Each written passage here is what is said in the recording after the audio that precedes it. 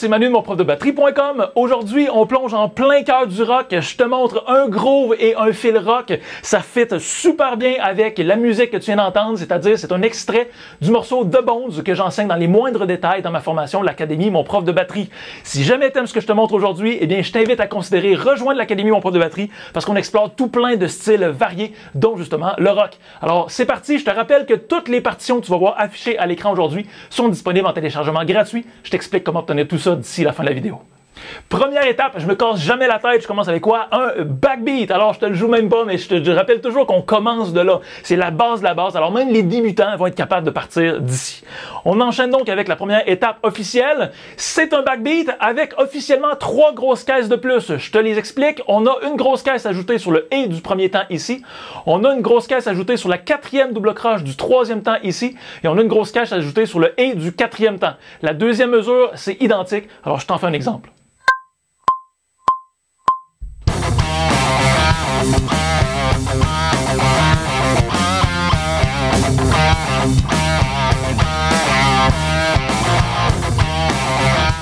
Continue tout de suite avec une deuxième étape. On va changer un seul motif. Au lieu de jouer des euh, croches au charlet, on bascule vers la crash. On le sent, c'est un passage quand même agressif. C'est un, endroit qui demande de l'énergie. Alors pourquoi pas utiliser justement la puissance un peu de la, crash et toute la masse sonore que ça peut apporter. Alors oublie le charlet ouvert à partir de maintenant. Crash, mais attention, crash en noir. Ce qui risque de se déstabiliser un petit peu si tu es habitué toujours de jouer des croches au charlet. Alors là ici, on n'est plus au charlet, je viens de le dire, mais on est vraiment maintenant en noir alors, toute la coordination peut être à revoir. Vas-y étape par étape. Au besoin, reprends le premier temps jusqu'au deuxième temps. Tout, tout, ta. Et tu es à l'aise avec ça? Si ça va bien, rajoute un deuxième temps. Tout, tout, ta. Poum. Rajoute un troisième temps. Tout, tout, ta. Tout, tout, ta et rajoute la fin du quatrième temps. Donc, tu peux vraiment y aller de manière modulable, un temps à la fois, et ça devrait te permettre de retravailler, dans le fond, ta coordination avec la séquence ou la routine qu'on appelle en noir à la crash. Thank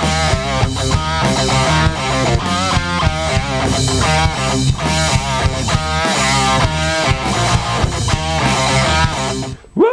Pour les tympans, c'est généreux.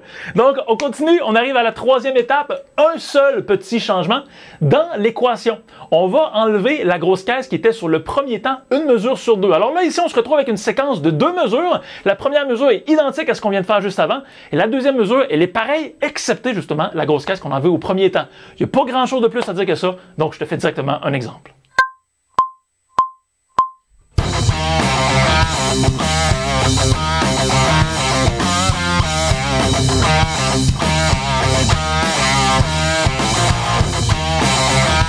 Pour la partie rythme, c'est complet. Le rythme qui est là, à mon avis, il est hyper fonctionnel avec le riff qu'on entend à la guitare. On va maintenant explorer qu'est-ce qu'on peut faire en termes de fil. Il y a une, une place où il y a un, motif rythmique différent et je pense que c'est l'endroit idéal pour faire le fil. Je commence par l'écouter avec vous. Donc, on fait juste revenir en arrière un petit peu, ça ici. Donc, c'est parti.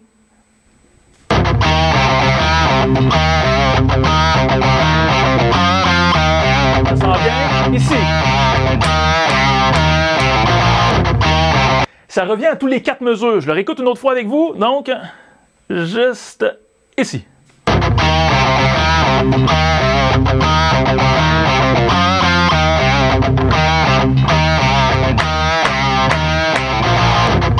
Alors, ce que j'ai fait, ce que j'ai tapé dans mes mains, c'est la rythmique que vous voyez là.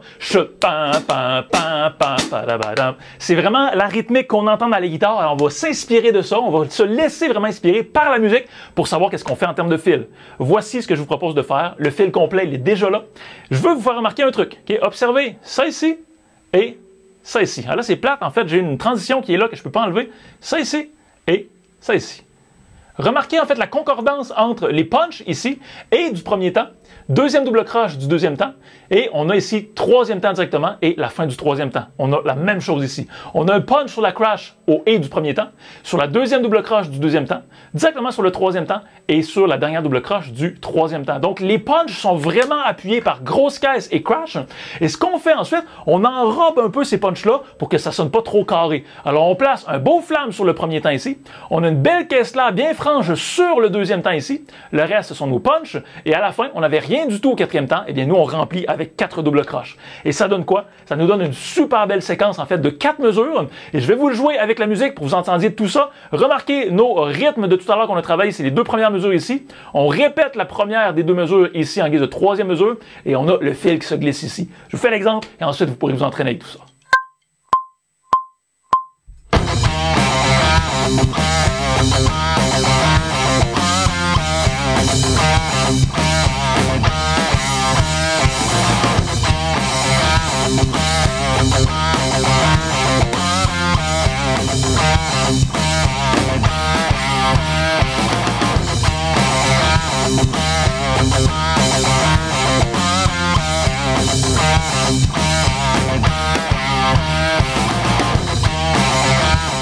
Voilà, c'est déjà complet pour aujourd'hui. Je vous rappelle que tout ce que je viens de vous présenter, c'est un tout petit extrait d'un morceau complet qui est disponible et décortiqué dans les moindres détails dans l'Académie Mon prof de batterie.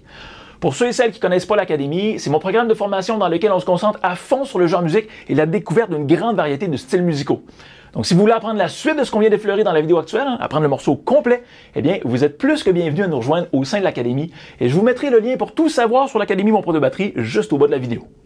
Comme toujours, je vous encourage à vous entraîner avec l'exercice d'aujourd'hui en téléchargeant le PDF qui contient chacune des étapes qu'on vient de voir ensemble. Pour l'obtenir, c'est super simple. Remplissez le formulaire qui se trouve sous la vidéo ou cliquez directement sur le lien qui se trouve dans la description juste au bas si vous êtes sur YouTube.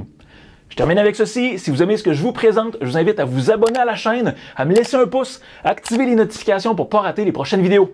Ça me donne toujours un énorme coup de main pour faire connaître la chaîne, mais ça me motive aussi à fond pour continuer de produire des nouveaux contenus. Donc, j'espère que tout ça vous aide, j'espère que ça vous motive et que ça vous inspire. Amusez-vous bien, bon entraînement et on se retrouve très vite pour la suite. Bye bye.